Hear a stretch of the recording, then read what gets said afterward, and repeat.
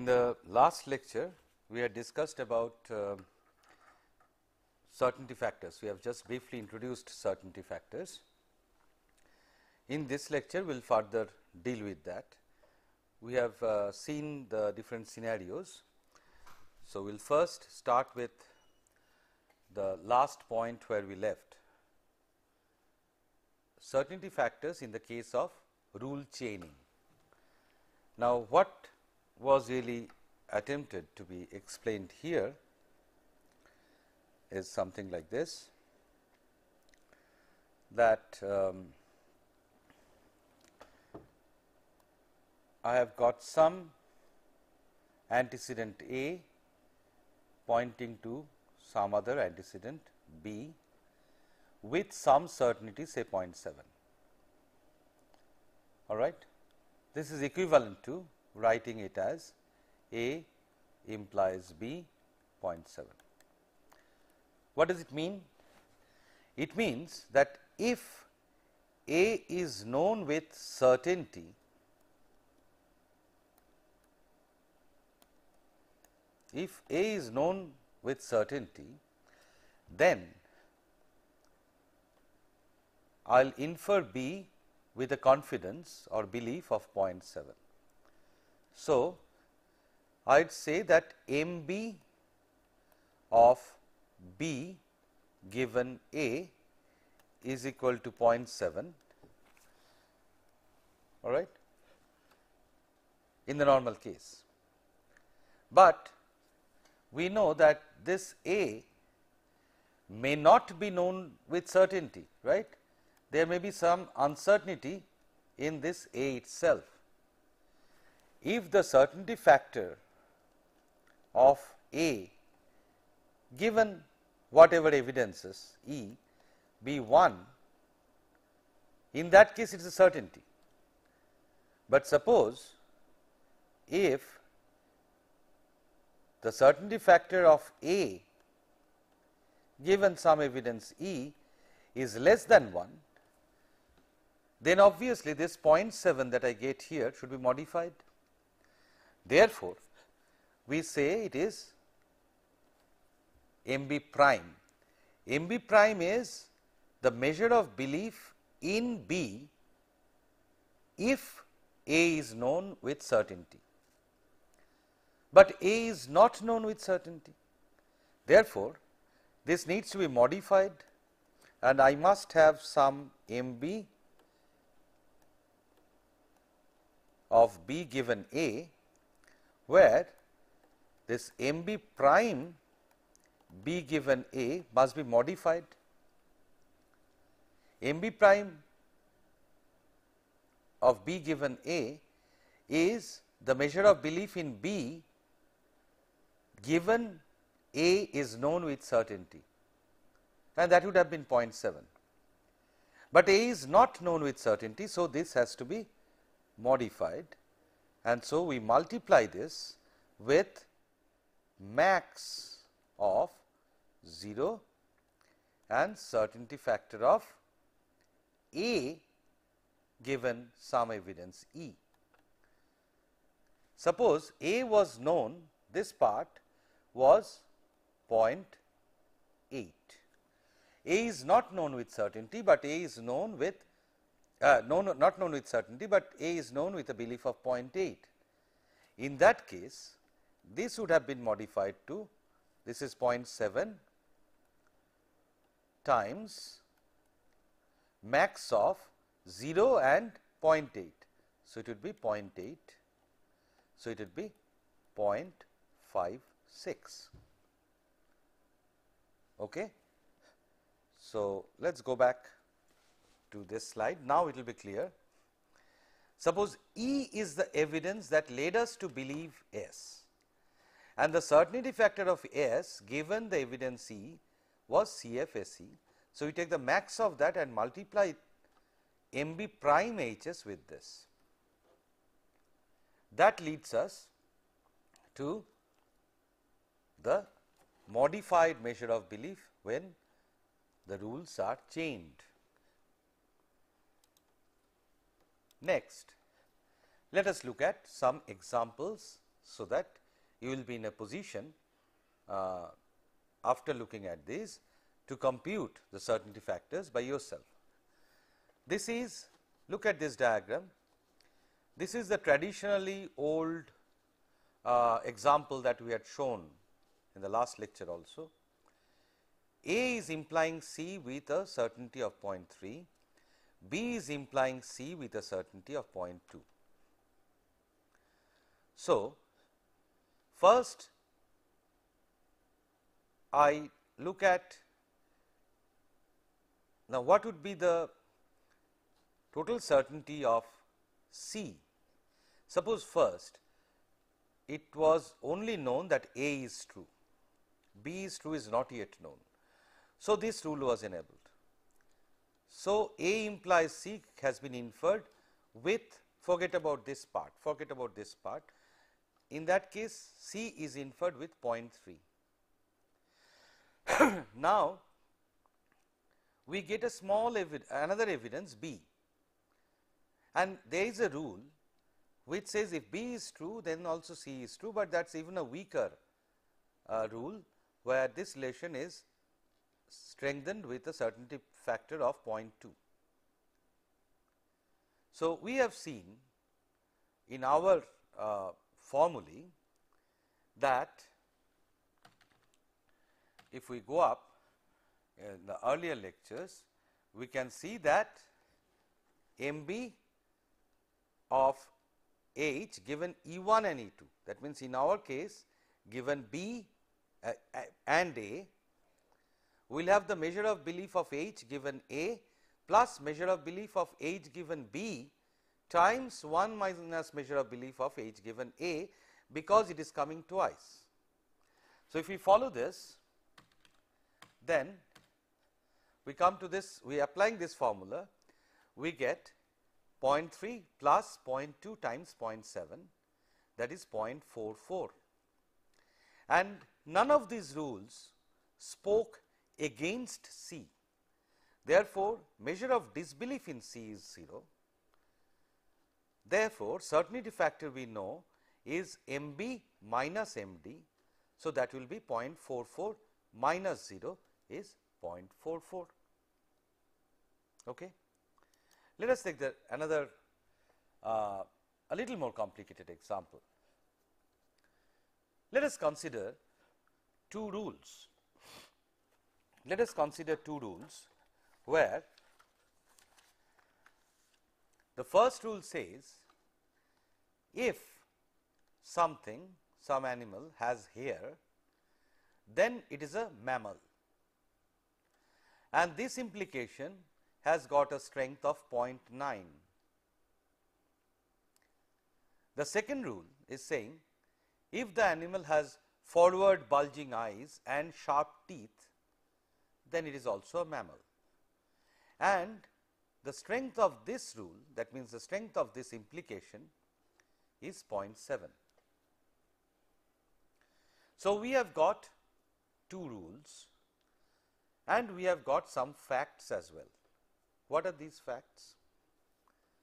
Suppose from prior observations or information, we have found that certainty factor of this antecedent has hair is 0.8. So, we know this antecedent not for sure, because might be the animal just uh, you were driving in a car and the animal just moved um, in from in front of your car and you could only have a glimpse of that and uh, you have got some information and some degree of belief in what you saw, you most likely 80 per, with 80 percent confidence you are saying that that animal that ran across had hair and had also forward eyes and uh, that was with 0.7. Now, note might be that you have uh, looked at the hair part and so you said yes I am 80 percent confidence confident that the animal had here and your friend who was in the car took a glimpse of the eyes and said yes I am 75 confident uh, percent confidence confident that it had forward eyes and another friend said, well, uh, I am 30 percent confident that uh, it had sharp teeth. So, might be that from different sources you have got this information. So, the database is like this now CF in has hair is 0.8, CF in forward eyes is 0.75, CF in sharp teeth is 0.3 and I have got these rules. Note that note two factors. The rules are also not 100 percent certain, there are certainty factors with these implications and neither are these facts 100 percent certain. So, our problem is that given multiple premises, the different premises 1, 2, 3, how do I combine them into one certainty factor when I take this rule? Now, certainty factor of P 1 and P 2, P 1 or P 2 we know is max of certainty factor of P 1 and certainty factor of P 2 and certainty factor of P 1 and P 2 is mean of certainty factor of P 1 and P 2. So, certainty factor of if I consider rule R 2, the certainty factor of forward eyes and sharp teeth, this antecedent part would be the if I apply this formula then I should take the mean of sharp teeth and forward eyes confidence. So, mean of 0.75 and 0.3 and mean of 0.75 and 0.3 is 0.3. Okay. So, this antecedent part of the rule R 2 is 0.3. Now, these are the rules has hair implies mammal with certainty factor 0.9, forward eyes and sharp teeth implies mammals with certainty factor 0.7. Now, given the premise certainty factors, now I know now has hair is a single antecedent. So, its certainty factor is already known it is 0.8. Therefore, now I know the certainty factor of all these antecedent parts it is 0.8 and these two together is 0.3 it was 0.75 and 0.3. So, since they are ANDed I have taken the mean of those. So, it is 0.3. Now, how do we combine with the certainty factor for the rule? The formula is that certainty factor of a hypothesis given a rule. Now, this rule is an evidence. We know that um, certainty factor of H given E is the certainty factor of the premise that is um, this part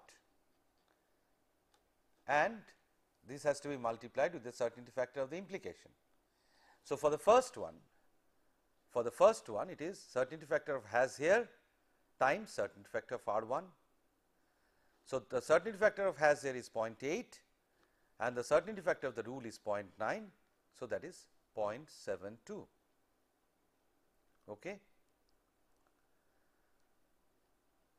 For the second rule, so I the first rule tells me that I uh, infer that the animal that ran through in uh, from uh, from my in front of my car ran across uh, the front of my car has is a mammal with a certainty 0.72. Now, if we look at the second rule that given R 2, what is the certainty that it is a mammal? Then we know that the certainty factor of the antecedent part that is forward eyes and sharp teeth is 0.3 and the certainty factor of the rule itself is 0.7. So, if we multiply them it is 0.21. Now, we come to a point when two rules are uh, stating that it is a mammal, one with a confidence of 0.72, another with a confidence of 0.21. Then we have got different rules with the same conclusion.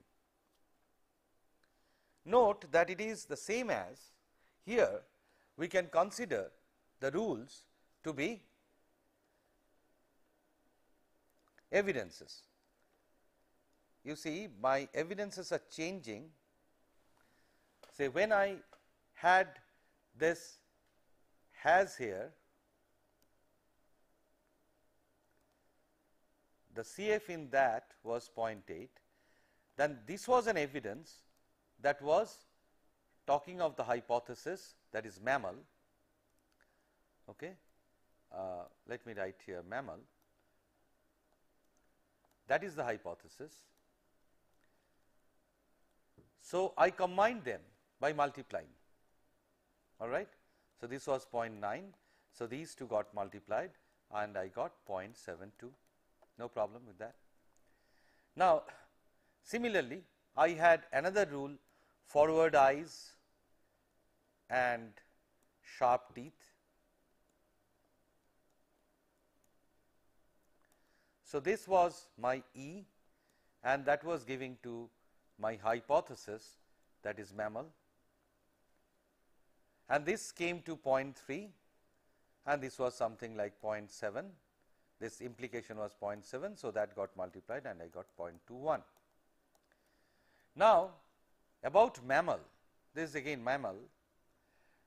So, I have got R 1 and R 2 both these rules are talking in favor of mammal. So, the common hypothesis H that is mammal is being supported by two rules R 1 and R 2.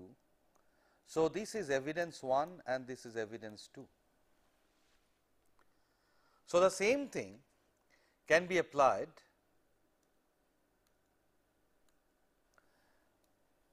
Am with combining these rules is the same as looking at it as E 1 and D 2 is leading to H or both R 1 and R 2 are leading to mammal. And this came up with 0.72 and this came up with uh, sorry this should not be drawn in this way.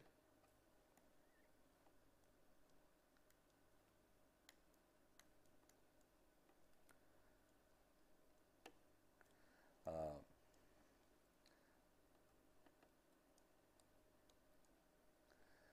this came with 0.72 and this came with 0.21. Now, how do I combine these two, these two rules? So, you probably have guessed by now what we should do. so, if we take the rule R 1, then I will infer mammal with a confidence of 0.72, but the second rule which has got in itself 0.21 will be added to this, but it should be before adding it should be multiplied with 1 minus m b H E 1 the same old formula that we had done here. Okay. Uh, the same old formula that we see here all right. So,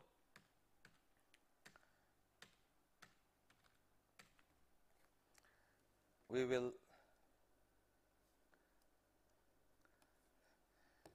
Now, we by applying this formula we get 0.72 plus this 0.588. So, it is 0.7788. Now, a very relevant question can be asked.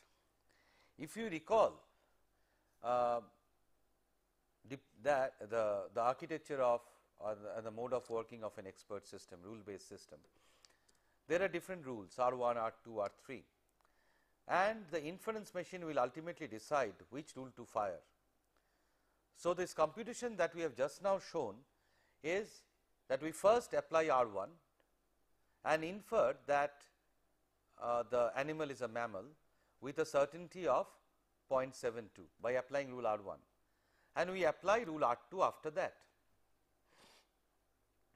Okay. And then we get this figure 0.7788.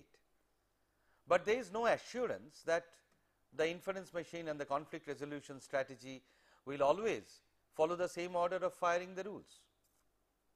What would happen if the rules are fired in a just the alternative way?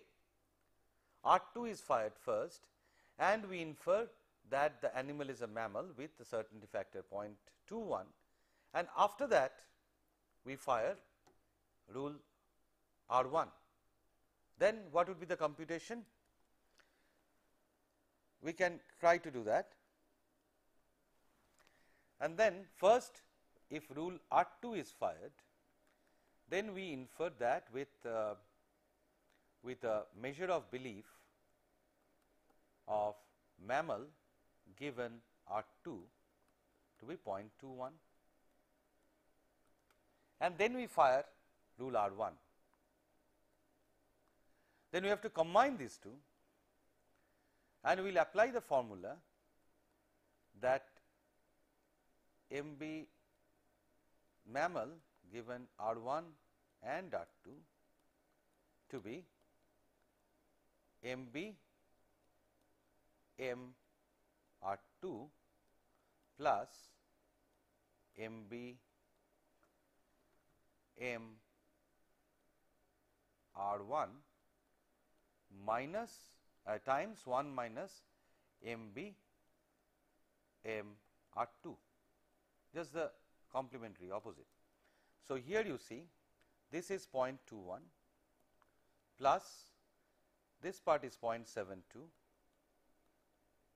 times 1 minus 0.21 and what does it come to? 0.21 plus 0.72 and this is point times 0.79 and if you multiply them it will be 0.21 plus if you do it with 0.8 for example. So,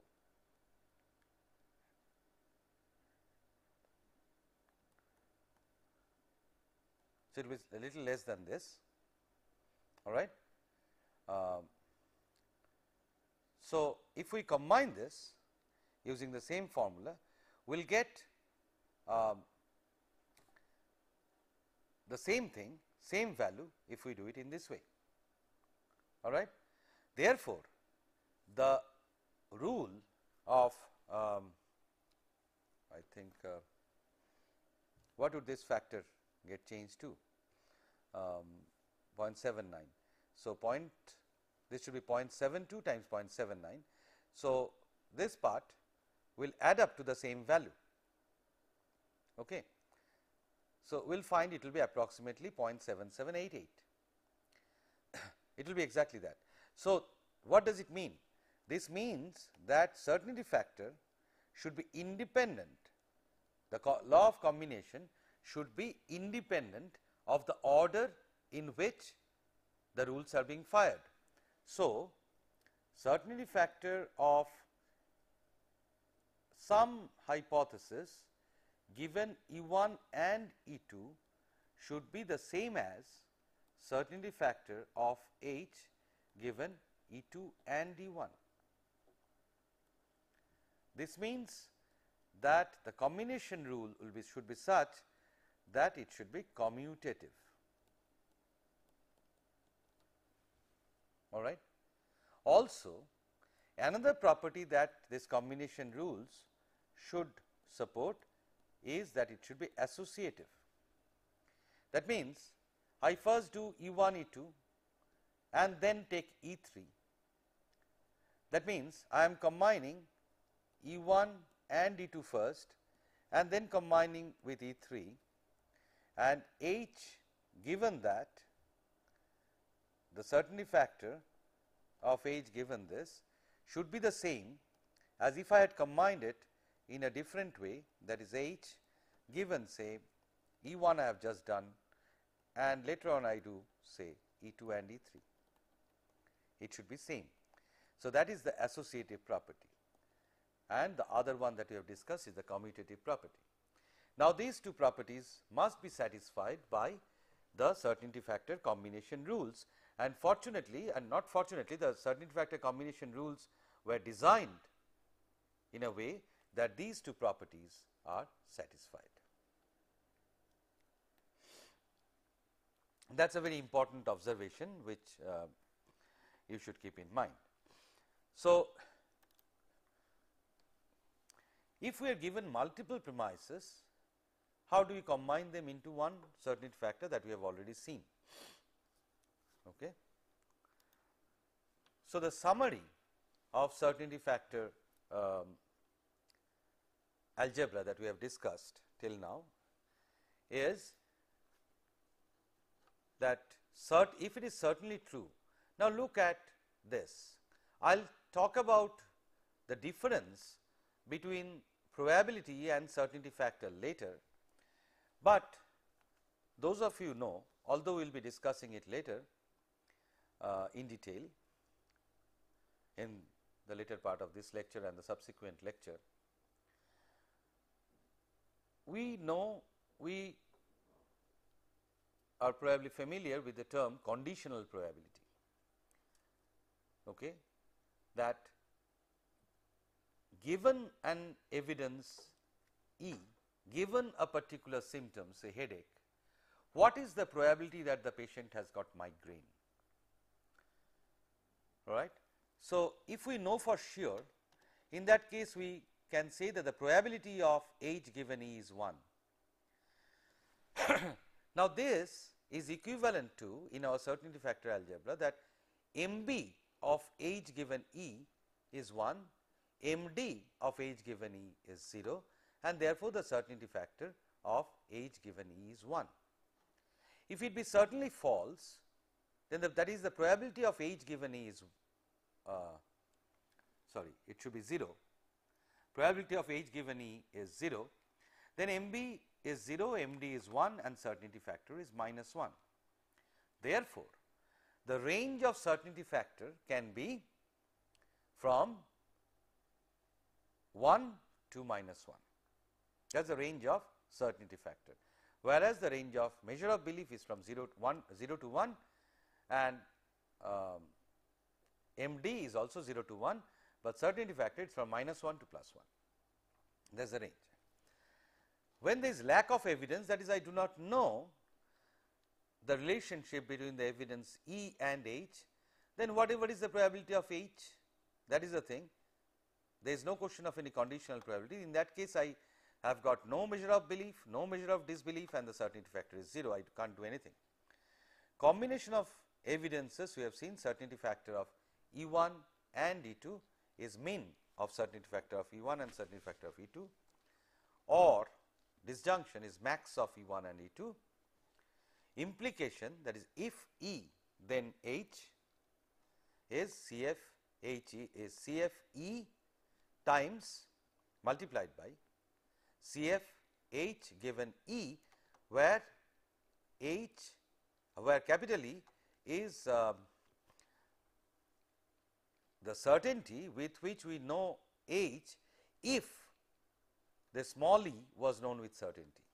That is the example that is the case where we have done for rule chaining m b prime times the certainty factor right the same thing. Next let us see. So, by now I assume that I hope that you have understood uh, the way certainty factors are computed. Next let us look at have a revisit with the Mycin rule because Mycin first introduced certainty factors. So, let us look at the Mycin rules and see how the Mycin rules uh, do the same thing with certainty factor. Here is a rule that we have seen earlier. If the stain of the organism is gram positive and the morphology of the organism is coccus, and the growth conformation of the organism is in, is chains. Clearly, this rule is a little different. Earlier thing is uh, was clumps here, but here it is chains another type another rule. Then there is uh, a typographic mistake here, there is suggestive evidence with certainty factor 0.7 that the identity of the organism is streptococcus. The earlier rule was staphylococcus. So, this is another rule. So, we have got the certainty factor. What is my certainty factor in the evidence? This complete evidence. Suppose this is known with 0.5,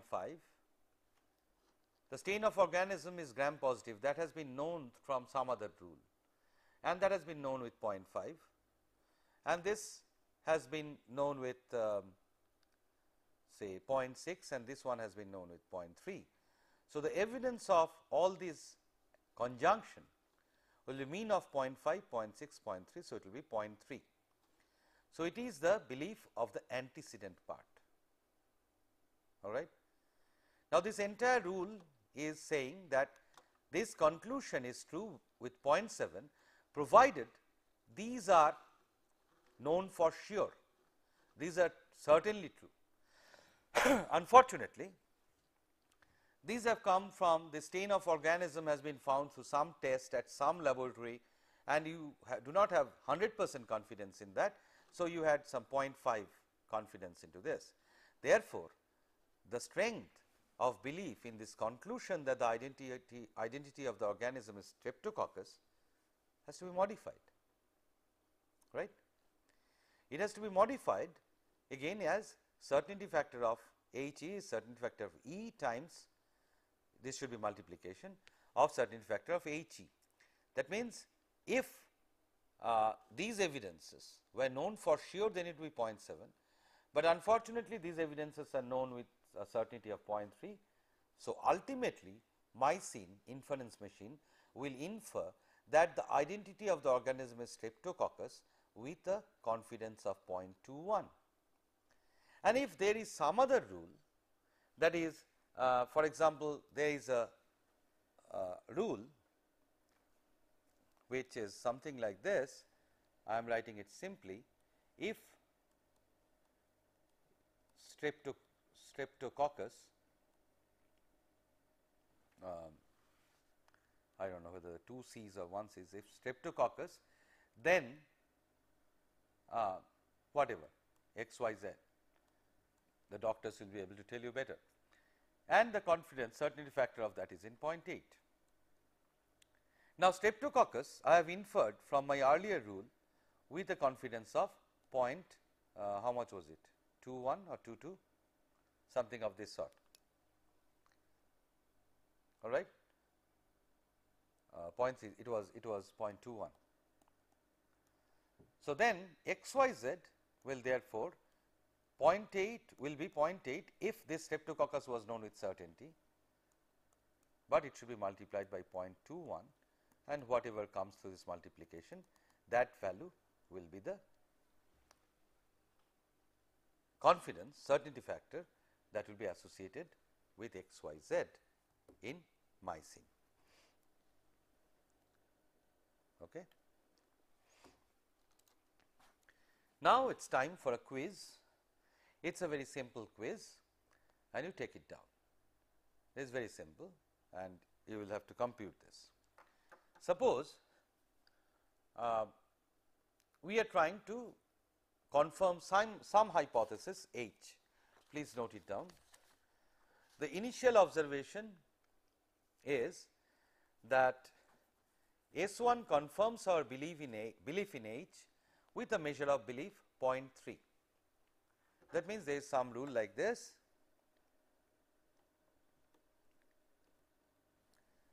S 1 implies H with certainty factor 0.3. Later on,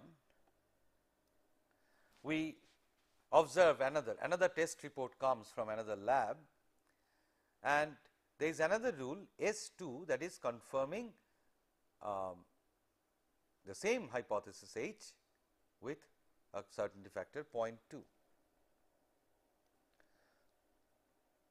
So, so S 1 confirmed H with 0.3 and later on another report comes S 2 confirms H with 0.2 and now you have got both these. So, you are asked to find the certainty factor of H given S 1 and S 2. This is a very simple quiz, but please work it out all right take it down and work it out. there is a very important issue which we have not yet discussed regarding Mycin rules or uncertainty factors. Let us look into that now. And this factor is behind the success of certainty factor or you can say that it is also a limiting uh, factor of application of certainty factors that is known as independence assumption, independence assumption in Mycin. Let us look at this rule, this rule. If the stain of organism is gram positive and the morphology of the organism is coccus and the growth conformation of the organism is in is chains, then there is suggestive evidence with a certainty of 0.7 that the identity of the organism is streptococcus. Now, these have been all these three antecedents have been combined into a rule because these are not independent because these are not independent.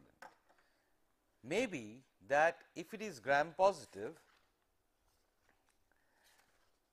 if it is gram positive, then being gram positive also makes the morphology uh, coccus. So, they are not independent. Since they are not independent, they have been clubbed together and the expert has combined them together with a certainty factor of 0.7. Now, if we had assumed that each of these antecedents were independent and had independent certainty factor of 0.6, all of them have got 0.6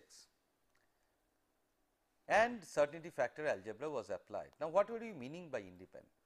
Independent that in that case that being gram positive does not affect causally, it does not it is not the cause of uh, something being um, morphology being in chains, okay? Uh, morphology being coccus and the morphology being coccus is cannot be a cause of is not causally related to the, uh, the to the growth conformation in chains. These are three independent observations. The boy is tall, the price of uh, or let us take another example. Say if we say the father of the boy is rich and the boy has a car, then in all, all probability these are causally related. But if there be uh, something like that the father of the boy is tall and the boy is boy has a car, then these two are two independent statements which are not causally related and I independently find the truth in each of these propositions. Okay. So, we say that two propositions are independent if they are not causally related. If they are not causally related, in that case and if we assume that each of them have got certainty factor 0.6, then let us see what happens and we apply certainty factor algebra. Then MB measure of belief in H given S1 and S2, S1 has got 0.6 and S2 is 0.6. So, the combined belief is 0.84 and if we take S 3, so we are talking of this rule, this was 0.7, this is 0.6 and 0.6. So, when we combine these two, first two, then we get uh, 0.84 and when you combine the third one with it you see it becomes 0.936. If you just look at it you will find another very interesting phenomenon. You see the figures were 0.6 then 0.84 and then 0.936. Let us see another interesting phenomena here. The first one they are independent right S 1 supported H. So, that was with 0.6 all right. S 2 supported um, oh say S 1 was with 0.6 I got another 0.6. Now, you see from this 0.6 my belief went to 0.84 because these two together now supported H. But when I put I put in S 3 obviously since that is another uh, supporting evidence that will further support this, but it this went up to 0.936. So, you see as I am putting in more and more evidence, my confidence in the overall thing is going up exponentially, but is gradually going towards a saturation where ultimately it can saturate to the value 1. There is one observation that one additional evidence S 2 along with S 1 really can support this in favor or if it be M D in disfavor. But gradually as I put on these more and more evidences then it tries to saturate and that is only natural. now, it is coming to point.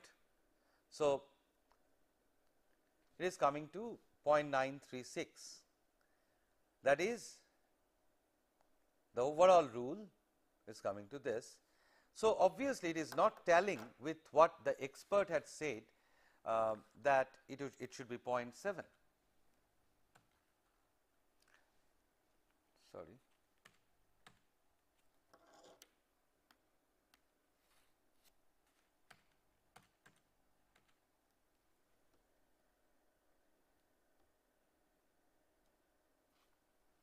Uh, the original rule had said that it is 0.7, but here if I take them independently then it is becoming different. So, the but in real life many of the things will not be independent. So, here comes the experts uh, real expertise that all the independent all the dependent causes I am clubbing together and using my expertise I am putting in one particular confidence factor into it that is 0.7. Okay. So, that is and when I do it then then it becomes as if E implies H the all these three antecedents are taken together.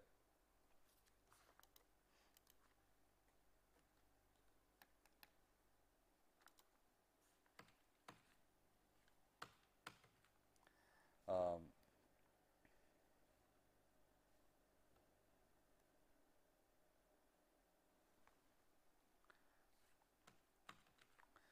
so, the other aspect that uh, we need to look into is uh, we can see another example all right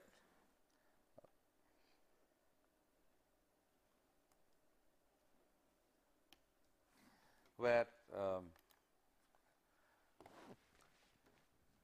let us consider these three. Suppose the S, there I am using three um, notations S, W and R. These are three propositions. S is stating that sprinkler was used last night. Say you are maintaining a lawn and you want to keep the grass green. So, you have put in a sprinkler which sprinkles water over there. Now, if say S is sprinkler was on, it was put on last night and the statement W says grass is wet this morning, today the grass is wet and R is another proposition, it rained last night. Okay. Now, if I assume that all these are independent, then and I write a rule R 1, if S that means if the sprinkler was on last night, then W, then today morning the grass will be wet. Independently, this rule is fine, there is no problem with this and uh, I have put in a confidence 0.9 because I was not too sure how long the sprinkler will be on. So, but if the sprinkler is on in the morning, the glass will be wet. Now, suppose another rule independently has been written. If the if I find the grass wet today morning, then R, then that means then I will assume that it rained last night. This rule is also okay individually when these two are seen individually. I hope you are understanding this situation.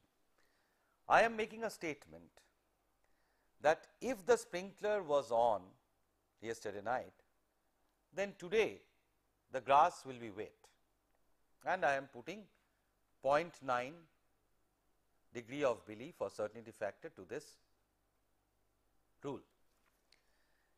Fine.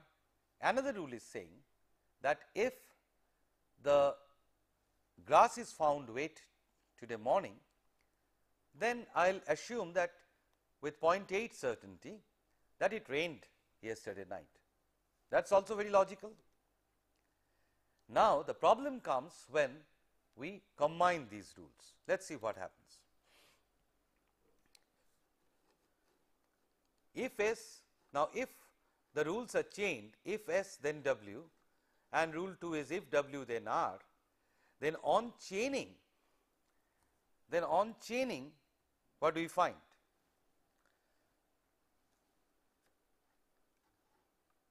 We will find a rule if S then R and what is the certainty of that? If I go on combining MBWS it was 0.8 this rule all right and I combine this with this rule that is MBRW will be 0.72. Then what am I getting? I am getting that it rained because the spring then we get a very strong belief that we got a rain because uh, uh, sorry R was uh, mm, it um, rained last night.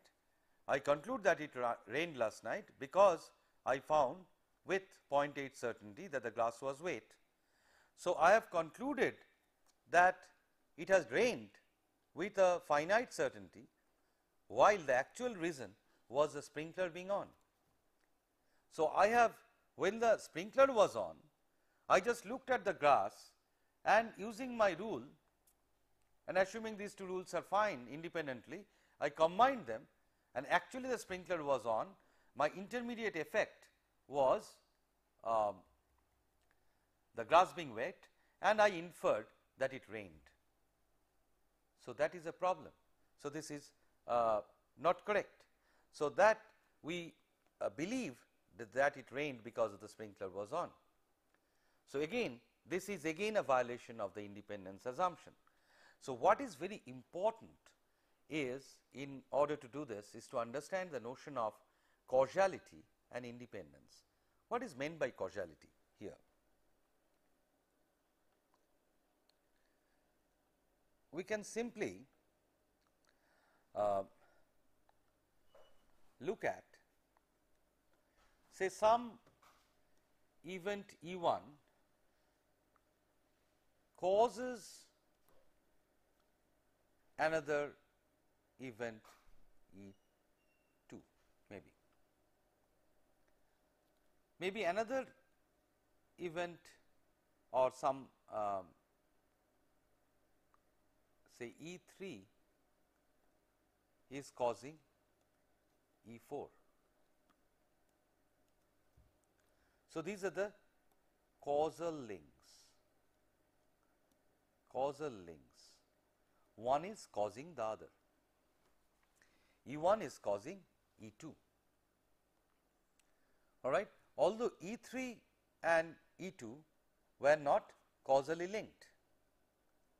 So, we must look at the scenario and if they are not causally related we should not combine them that is a very important consideration. Okay. So, in this case say this the rule that if the grass is wet and the wet, wet and rain should not be combined with the sprinkler business. So, this and if they have to be combined that then this combined belief has to be given a separate certainty factor. Now, with this discussion of certainty factor next we will move to uh, another very popular way of inferencing that is known as uh, that is a actually the probabilistic reasoning. Now, certainty factor is not strictly following the formal rigor of probability. So, in the next lecture uh, we will be talking about probability and uncertainty and we will once again see how we deal with uncertainty and uh, then we will see how the theory of probability can be applied to deal with uncertainty. We will have a brief look at that. Thank you.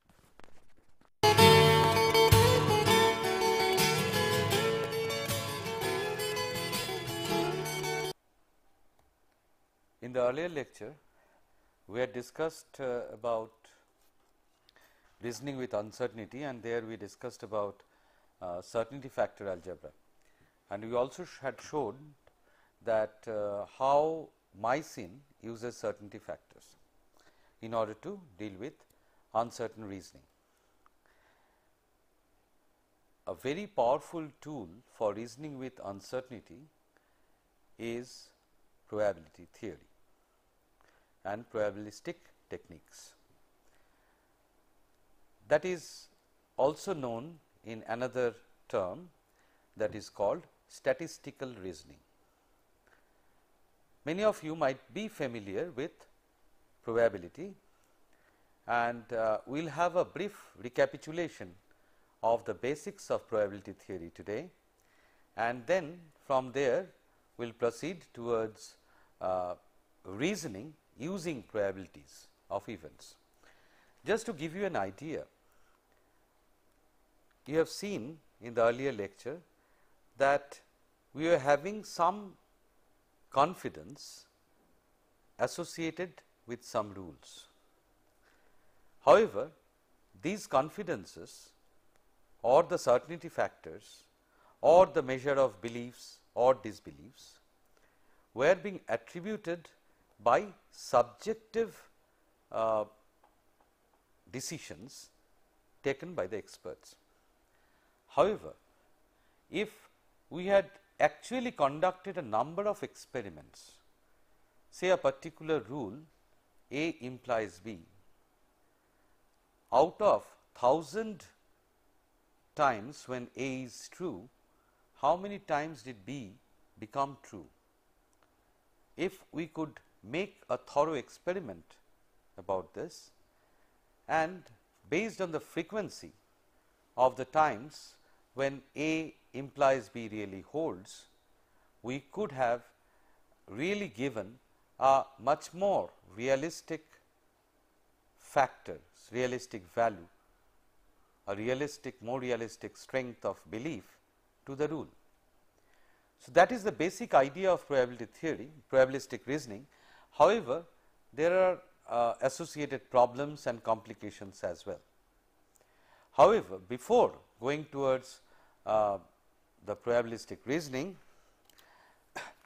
uh, we will be discussing today about probability and un, uh, uncertainty, but before going into that, uh, we will have a relook on the issue of uncertainty in decision making proper.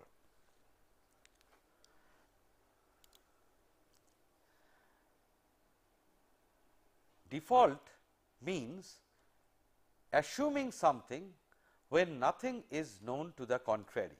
So, this is uh, if you recall in the passing we had said um, I had mentioned about abductive reasoning you know uh, deductive reasoning has been discussed.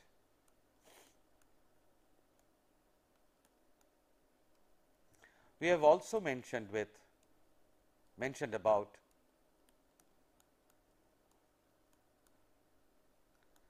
abductive reasoning. There is mm-hmm. another very interesting type of reasoning called default reasoning. Now, what does this default mean? Default means say assume something x to be true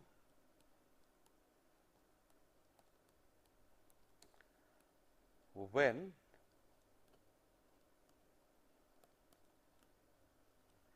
nothing is known to the contrary. All right. That means, I do not know, I do not have any evidence, no evidence is right now available, is right now available that contradicts x that says not x. There is nothing such. okay. So, when nothing is known to the contrary, then assume something that is called default reasoning. Let me give an example.